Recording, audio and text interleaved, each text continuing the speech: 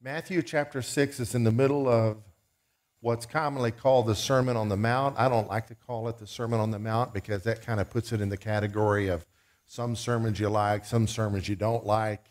Some people call it the hard sayings of Jesus. I like to call it God's will for man.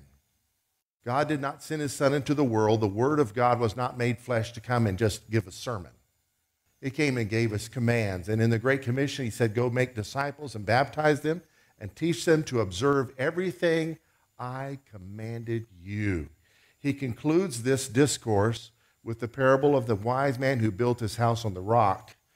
When the floods came, the winds blew, the house on the rock stood strong. So is the one who hears and does the things I'm saying.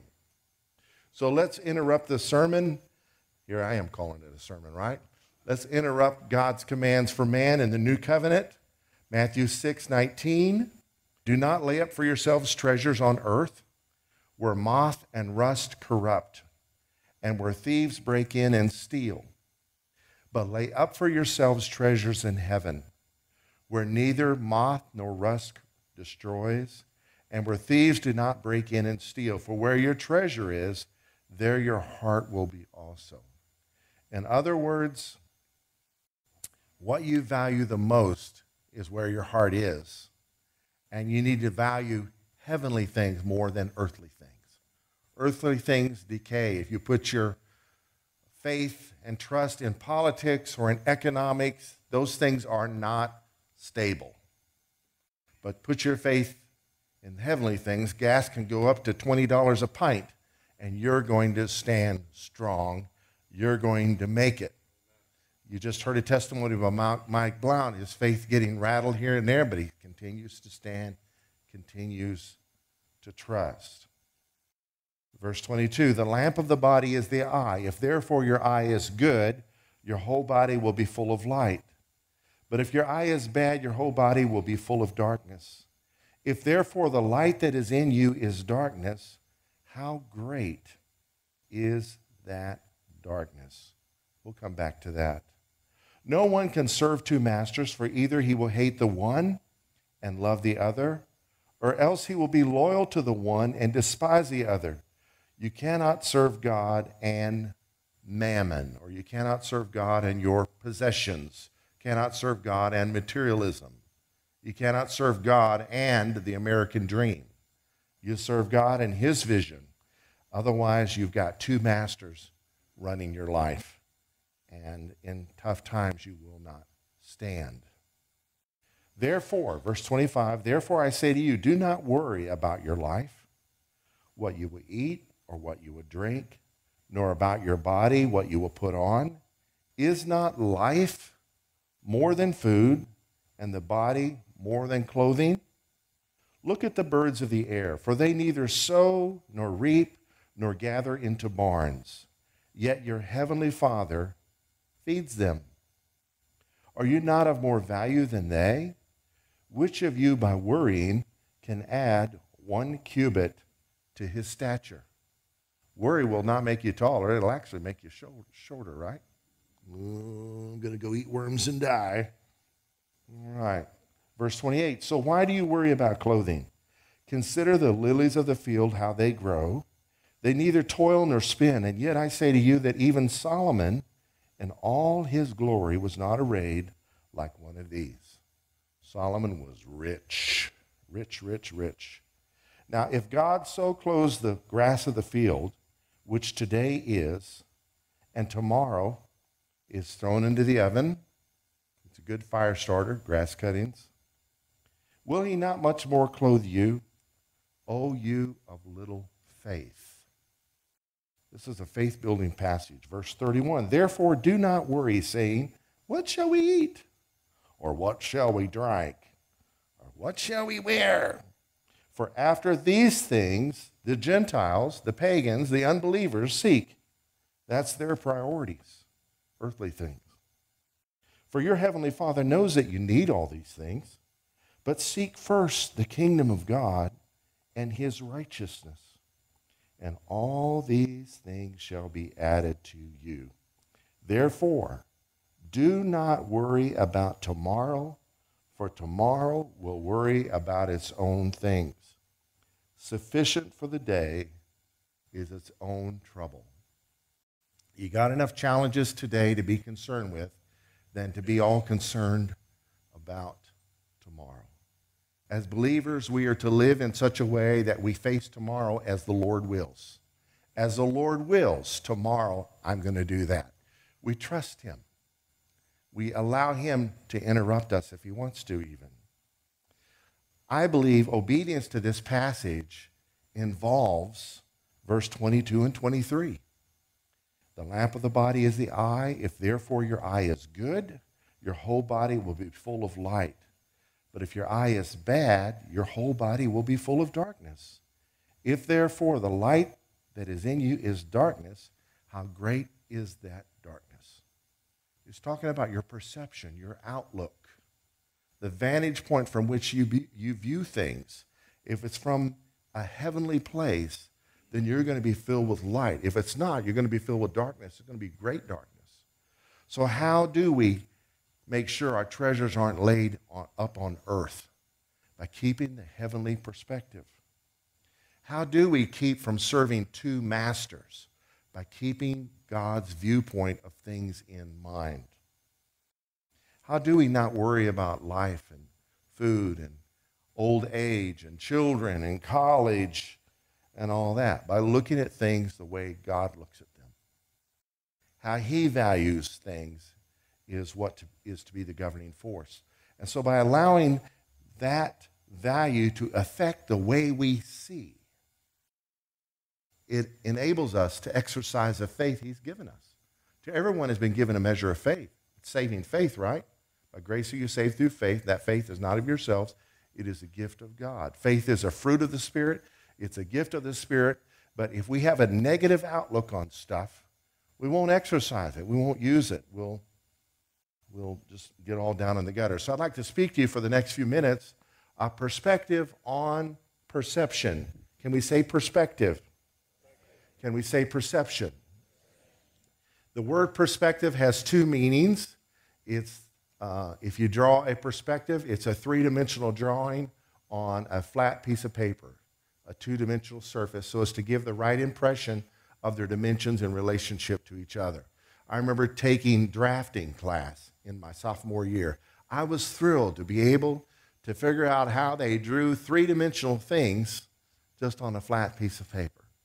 And so um, that's what perspective is. But it is also a particular attitude toward or way of regarding stuff. It's a point of view, an outlook, a viewpoint, a stance, a position, thoughts regarding something. What you think about something is your perspective. Your personal opinion is your perspective. So today I'm going to share you a perspective on perception. Perception is the ability to see or hear or become aware of something through the senses. So you feel it, you touch it, you smell it, you hear it, you see it, you're aware of it. That's perception. But it's also a way of regarding, understanding, or interpreting something. It's a mental impression, a discernment, an appreciation, a recognition, a realization, an awareness, an art of understanding or view. The first day I ever saw Miss Yvette, I perceived this is someone I want to meet. That's perception. Luke 11 also is involved in uh, the writer writing the commands of Christ. In the midst of those commands, he words it this way The lamp of the body is the eye. Therefore, when your eye is good, your whole body also is full of light. But when your eye is bad, your body also is full of darkness. Therefore, verse 35, because of that, therefore, take heed that the light which is in you is not darkness. The New Century Version renders it as follows So be careful not to let the light in you become darkness. It's possible to have the right perception on things, and then something happens that disillusions you, and now you're fearful or negative or doubting or traumatized. The New Living Translation says, Make sure the light that you think you have is not actually darkness. We live in Texas and we've got our rights and we've got our view on stuff and we've got our opinions, don't we? The world revolves around Texas. Some people accuse us of thinking that. I know the biggest ranch in the world is in Texas and stuff like that. But it's possible to think you're right and to be completely wrong and not know it because the light that is in you is actually darkness. So we got to be sure that our perception is right. So it's my desire today to encourage you and I, I'm preaching to myself, to have God's perception on stuff. Three weeks ago, my brother was texting me, and he had just heard his son end his life. So we had the funeral um, over a week ago. The press release was he died of the unseen wounds of war. That's a perception that is encouraging. But at the funeral, the pastor changed the perception of everybody in the room when he shared a story of a woman that went to the wrong house and tried to get in. The key wouldn't work. Someone opened the door and she realized she was at the wrong house. So she had the decision do I continue to stay there, wanting it to be my house, and asking why it isn't my house and barging her way in and trying to make the place hers? Or does she move on to find the right place? And then he applied that story. Stop knocking on the door of why. You're at the wrong house. Run to the tower of trust. When we don't understand, we trust, right? You may not understand how this building is built, but you trust the engineers at Midwest Metal Building knew what they were doing when they built the thing, right? We trust. And so it is with the unseen things in life. We don't know why things happen or why people do what they do, but we can trust God that He's got it all in His perception. He knows what's going on. As humans, we live in, in linear we live a linear life. I know many of us are mosaic thinkers but and multitaskers, but really we live linear from one day to the next. The old country song Kris Kristofferson wrote, One day at a time. I think that's the hymn at AA meetings. Sweet Jesus. So, looking at life, we're like the little kid looking at a parade through the hole in the wooden fence, thinking he knows all about the parade. But up in the tree, his buddy can see the beginning of the parade and the ending of the parade, and he has a greater understanding. Well, in life, we trust the one who has the ultimate understanding of it all, right? And so it is with our perception. We live in a linear world. We may think we see things 2020, but we must be careful lest the things we see are dark. Now, how is this encouraging me? My dad, he's in Texas, right? He's from Atlanta, 900 miles away come see my, my kids while I'm here in this part of the world. So he comes to see me. Wednesday, he falls down and breaks the top of his femur bone off where it connects to the ball and winds up getting a, uh, they call it a half hip replacement. Now, what's funny about that is for years he's been saying, I need a hip replacement. Well, he got one. And so he's going to be in town for weeks. I didn't plan on this. I didn't look forward to this. But you know what? I'm keeping, I'm keeping a positive perception. I'm, I'm looking for God's perception of this. He refused to use a walker. I mean, this guy's a giant killer. His whole life he's done stuff. He hates using a cane. And so it was bound to happen sooner or later. And I'm thankful it didn't happen in a truck stop somewhere in deep Alabama on the way home or something, or in a ditch, or in Atlanta, his hometown. I feel like I'm the most convenient kid in the family. He's right here, right? So, uh, and, and our town has some good people in the medical profession. So I'm counting my blessings. But I have a decision to make. Am I, am I going to look at that that way? How we take things is so important. Some people jump at the, thing, jump at the chance to take things at their most negative, hurtful, painful ex- experience, and then they live life all offended when they're the ones doing it to themselves. It's like they're picking up a knife and stabbing themselves when nobody even had a knife in their hand.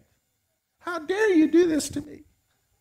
That's what we do when we do not realize the light in us may be darkness.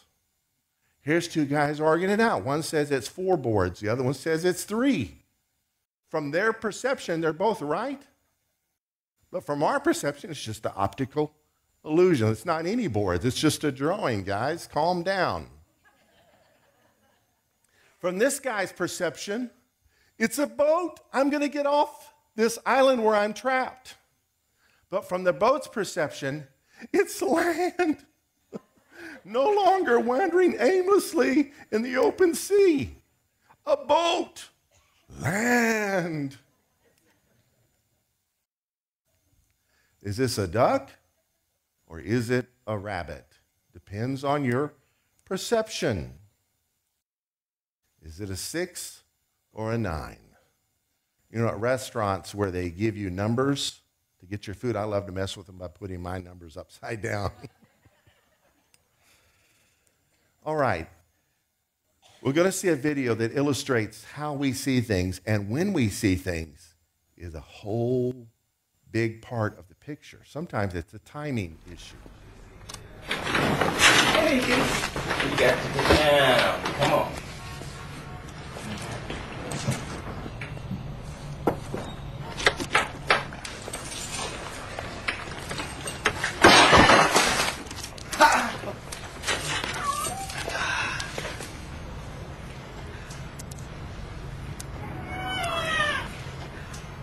AmeriQuest Mortgage, proud sponsor of the NFL. Patient has a fractured fibula. Given him a mild sedative. So he can be able to go home tomorrow. Daddy's gonna be so excited. All.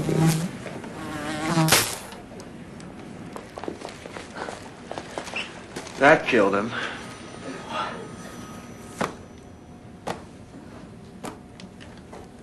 Paging Dr. Palmer, Dr. Barbara Palmer. Dial 452.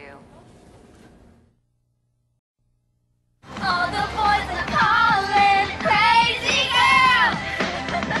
I hope she sings this tonight. I know. Hey, Dad, pull over. We need gum. I'm on it. Oh, honey? Here's some money. What do we got here? Hello.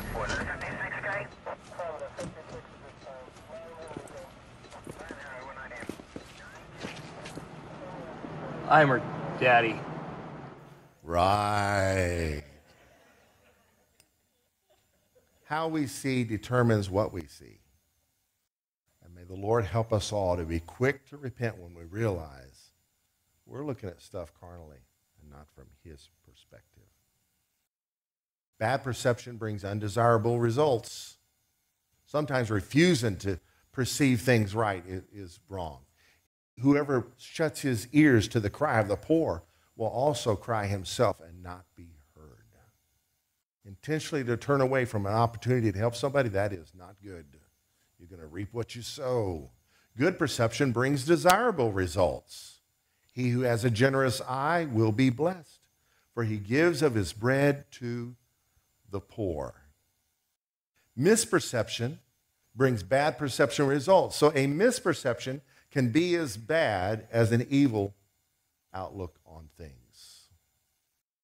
Where there is no vision, Proverbs 29, the people perish. He that keeps the law, happy is he. Where there is no revelation, where there is no, one translation says, where there is no redemptive revelation, people perish. May God help us to look at things redemptively instead of like it's the end of the world.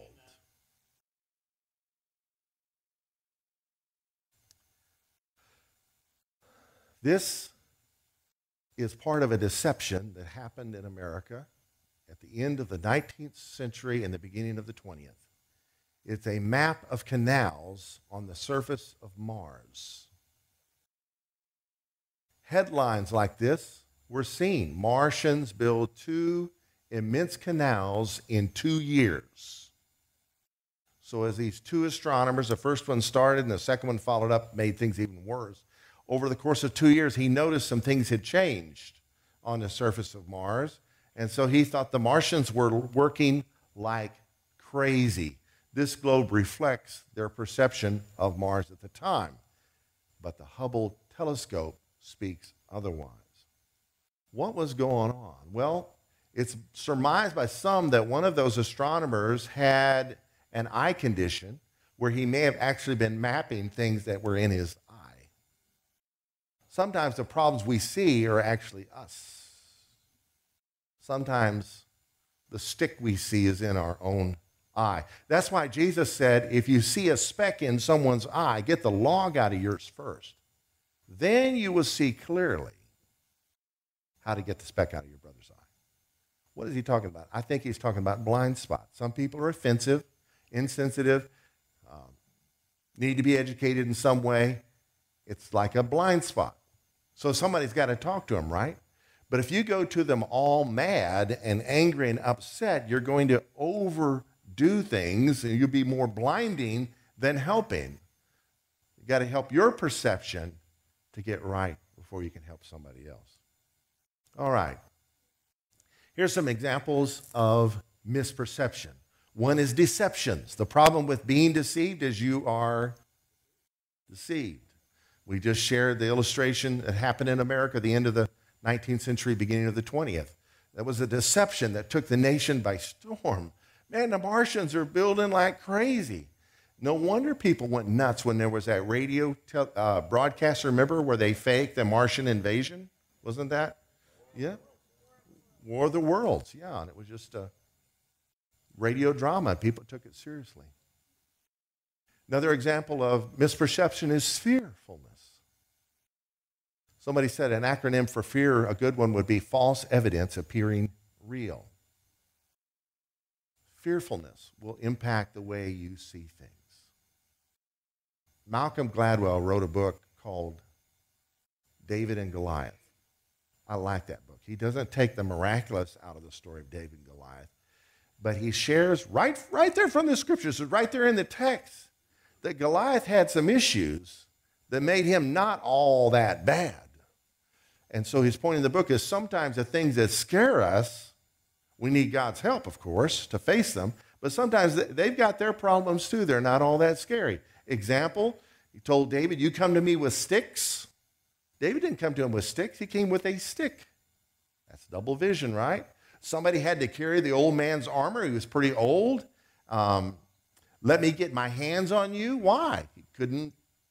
He couldn't uh, aim, so he had some vision problems himself. So, anyway, but fear makes things bigger than they are. Imaginations can be a misperception. Oh man, it's going to be real bad. How many times have people predicted the end of the world? You know, you sell a lot of books and then nobody wants to buy anymore. You get them cheap then. I'll get it when it goes on sale after doomsday.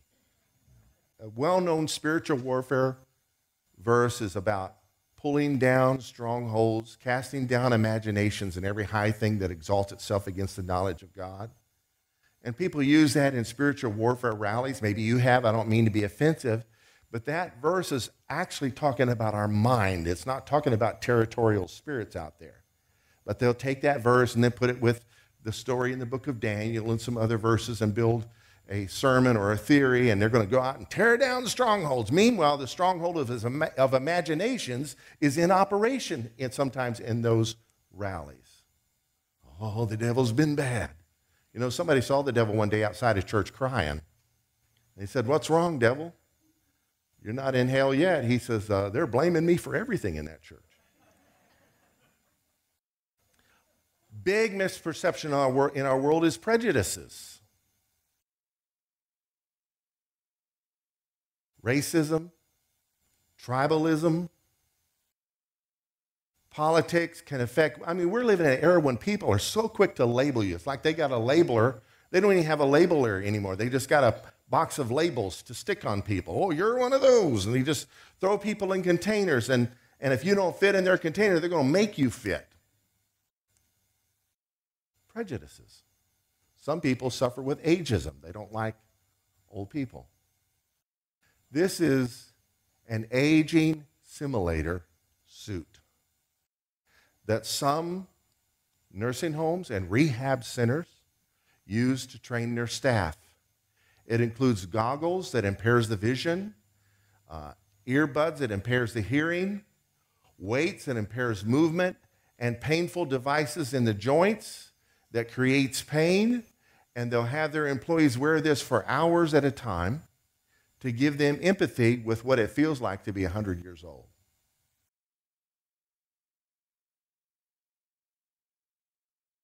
This is what Jesus did for us. So that he might be a more merciful high priest. So that he could be touched with the feelings of our infirmities. He became one of us. So his perception isn't just based on his omniscience, but experience. Projections. We'll project things and what we're projecting is influencing how we're things. Well, they don't like me. Really? Are you sure they're not just busy? You know, the world doesn't revolve around us. Oh, you don't like me either, then.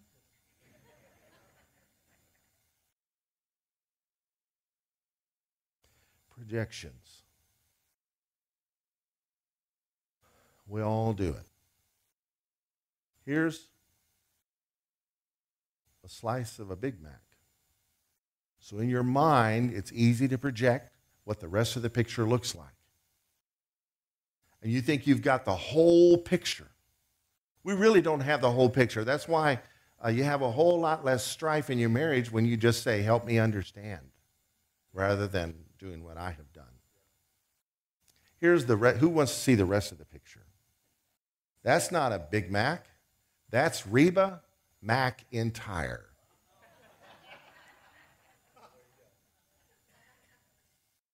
So that's projections. Oh, Pastor, that's just a joke. That's not true. I'm going to prove it to you that we all project. I'm going to show you a paragraph. If you've seen it before, I know you didn't memorize it, but all of us will be able to read this if we're able to read. And the letters are not in the right place. Let's read it together. It doesn't matter in what order the letters in a word are. The only important thing is that the first and last letter be at the right place. The rest can be a total mess, and you can still read it.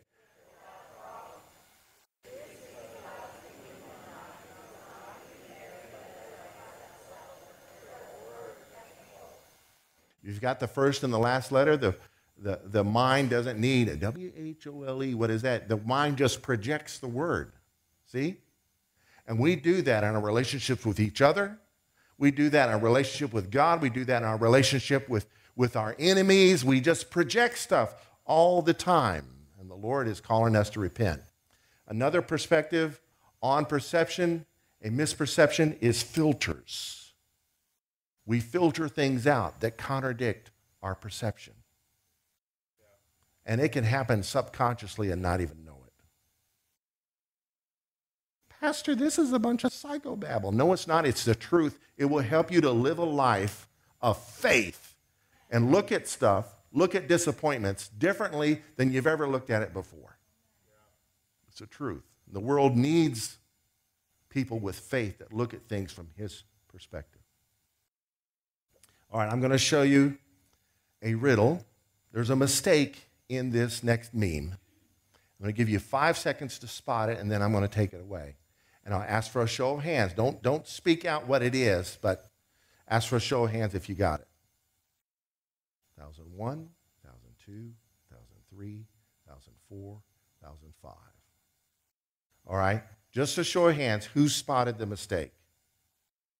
One, two, three, four, five, six, seven, eight, nine, 10, 11, 12, 13. Now, besides Joseph, who was in the first service, who has seen this before? Okay, so two of you seen it before. All right, let me solve it for you. This is because of filtering. Can you manage this one in five seconds? Can you spot, spot a mistake here?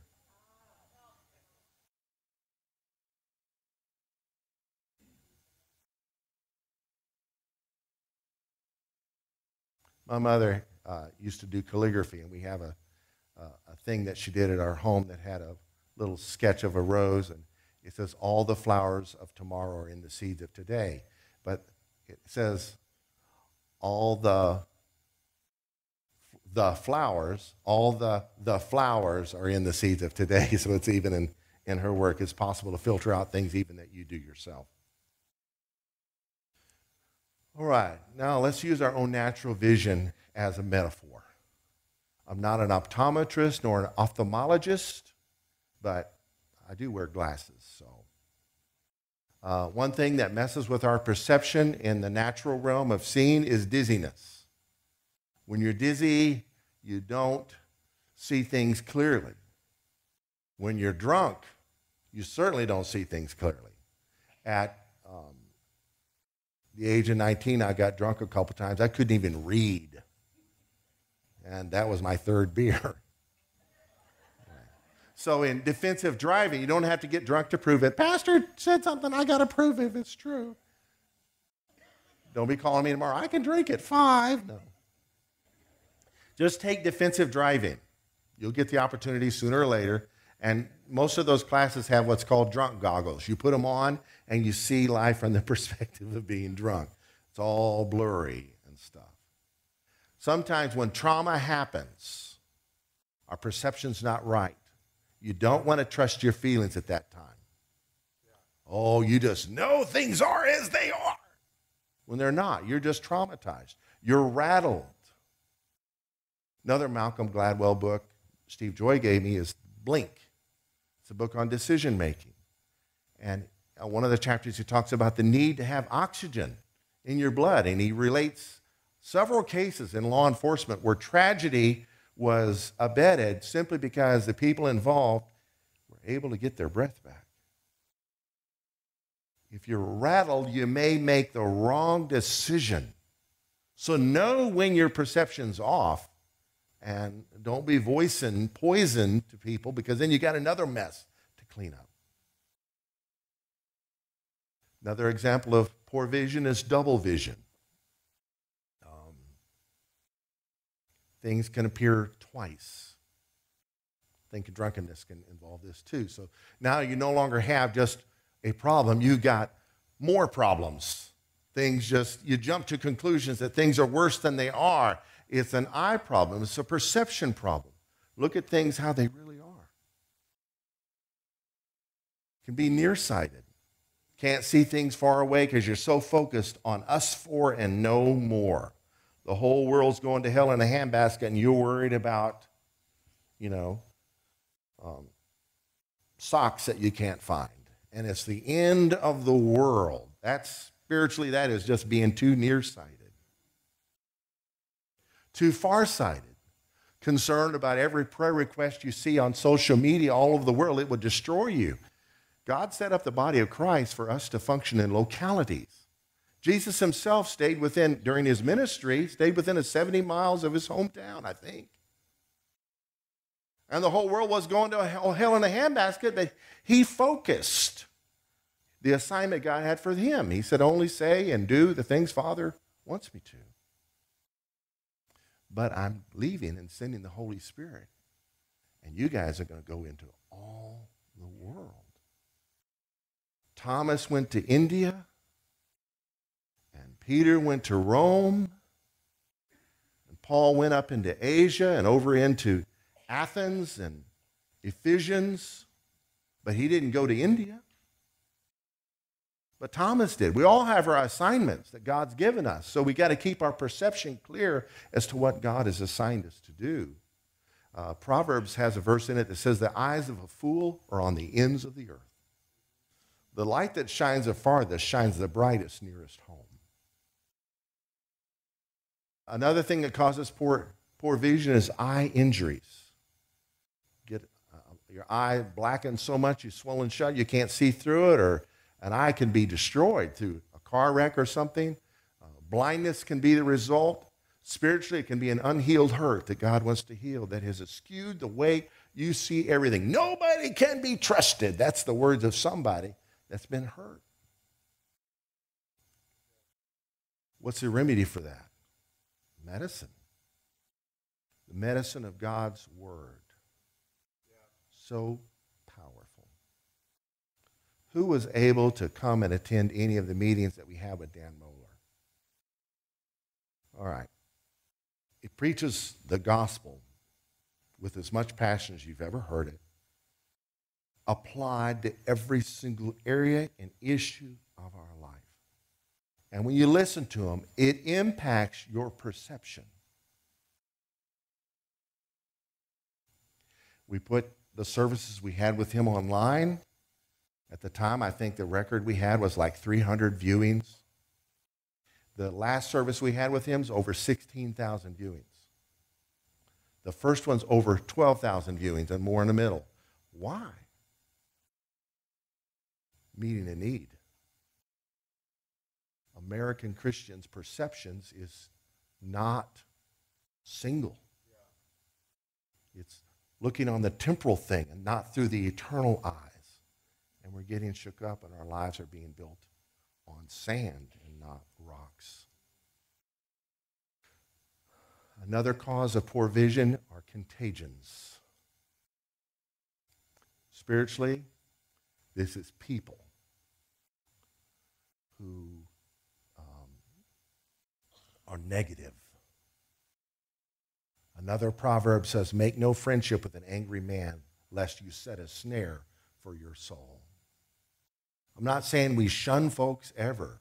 We, we relate to people redemptively, right? There's always hope. But you don't want to allow people to influence the way you think and see life. So you don't go on vacations with negative folks or hang out with them.